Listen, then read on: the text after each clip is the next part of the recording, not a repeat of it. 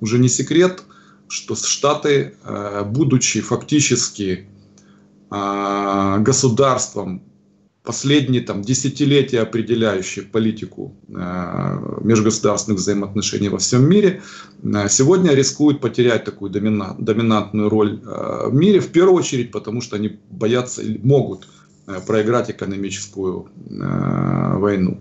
Потому что в ближайшие, и это высокая вероятность того, что в ближайшие там, несколько, 3-5 лет экономика Китая э, опередит Э, экономику штата, выводит на первое место и станет тогда определяющей э, сверхдержавой в мире со всеми вытекающими последствиями. Да, ну как минимум последствия э, того, что американская валюта доллара является резервной валютой во всем мире в соответствии с, там, с Бреттон-Вудским с договоренностью июля 2040, 1944 года.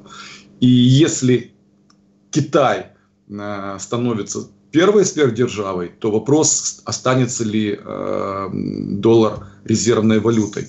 Потому что сейчас все э, экономики фактически считаются в эквиваленте доллара, и все экономики являются взаимосвязанными, там, перетекающими долларами друг с другом, да, там, внешние обязательства, внутренние обязательства и так далее.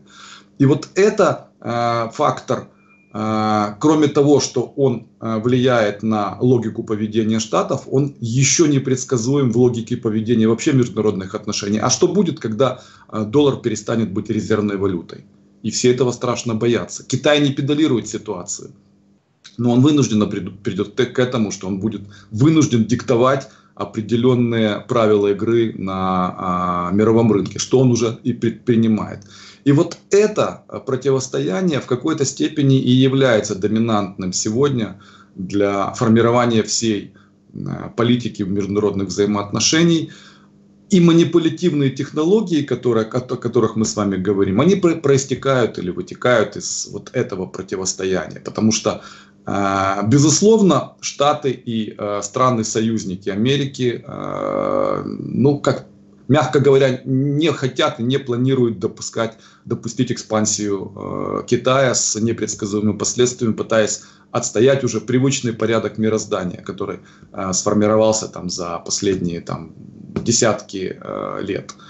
И они в том числе принимают участие в этих манипулятивных технологиях, чтобы отстоять тот а, принцип, который существовал и который их в большей степени устраивает.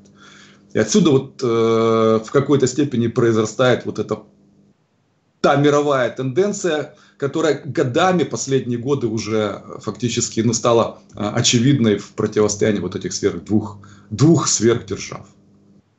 А возможен ли действительно такой отказ или реформа бреттон-вудской системы и замена ее, скажем, на две мировые резервные валюты, вот, допустим, на доллар и юань? И какие будут э, последствия такого дела? Ну и вообще, насколько будет стабильно, адекватно мировым реалиям такая система, потому что, ну, даже если вспомнить, то до Бреттон-Вудской системы золотой стандарт был вполне таким мировым эквивалентом для обмена и вроде бы всех устраивал до определенных э, моментов. А также и британвудская система, в принципе, тоже до сих пор адекватна мировым отношениям. Или уже назрели какие-то совершенно другие тенденции, которые требуют ее замены.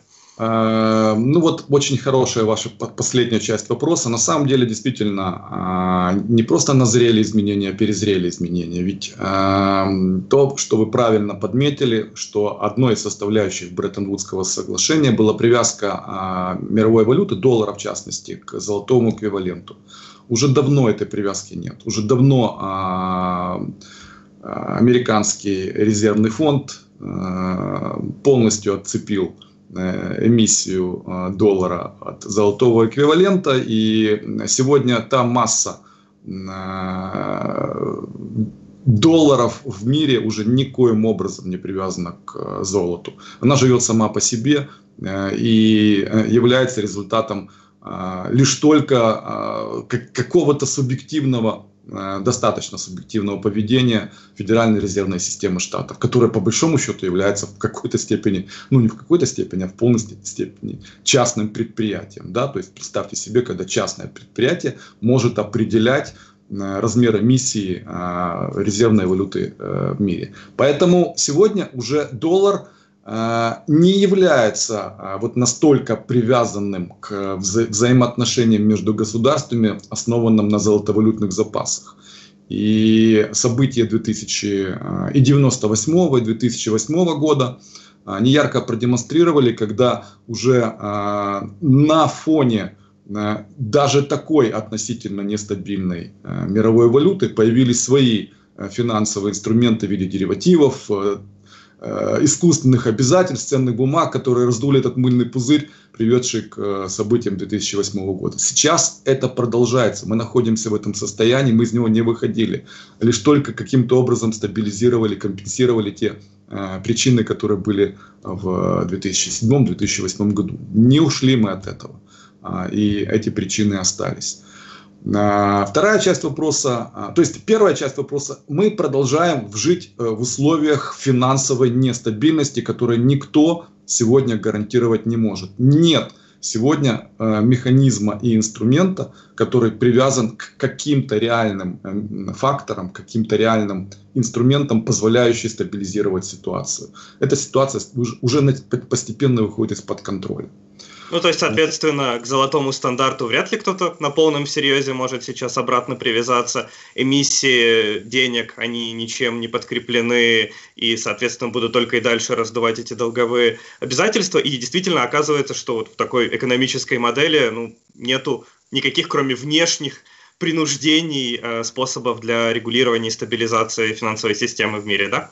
Да, совершенно верно. Причем эти внешние принуждения, они лишь только а, являются а, производной от а, решений, принятых американским правительством и Федеральной резервной системой. Все, точка. Никакого возврата, ну, по моим оценкам, к эквиваленту золотых запасов уже вряд ли возможно, потому что они настолько перекошены сегодня реально, что возвращаться к этому и коэффициенты, мультипликаторы, которые нужно будет там включать, они просто опять будут неэквивалентны реальной ситуации. И к этому точно никто не вернется. Будут искать другие инструменты. Какие? Очень сложно сказать. Вот похоже, что мы находимся в состоянии, когда э, кто-то в определенных кругах, имеющих э, необходимый объем информации и достаточно возможно, полномочий для того, чтобы принимать решения, вот ищет уже э, последние годы вот такой инструмент э, влияния на э, финансовый мир и на экономику стран, особенно ведущих стран, экономику ведущих государств в мире. То, что касается на второй части вашего вопроса в отношении там, баланса валют доллар-юань, ну, я думаю, что пока сейчас вряд ли кто-то на него реально ответит. А, что произойдет тогда, когда юань станет настолько крепким, когда сможет заменить доллар? Захотят ли они делать это китайцы? Готовы ли они к такому шагу? Достаточно ли у них возможности, чтобы влиять на эту ситуацию и готовы ли они взять на себя функции, как в свое время э, взял функцию штата на себя, там, условно говоря, то, что называют в обиходе э, мирового полицейского. Да? То есть государство, которое э, влияет, регулирует определенные взаимоотношения а, в мире.